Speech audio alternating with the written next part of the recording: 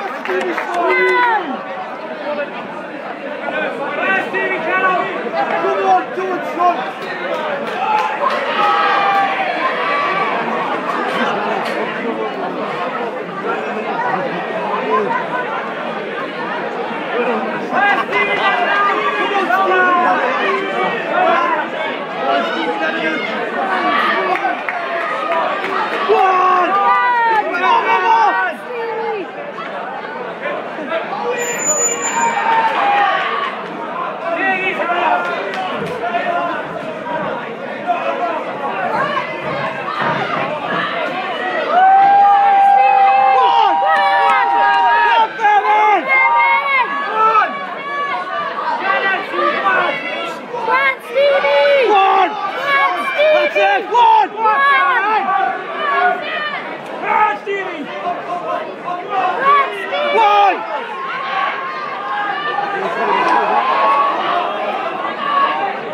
I need in the fucking head. I need in the fucking head. What's the end? One!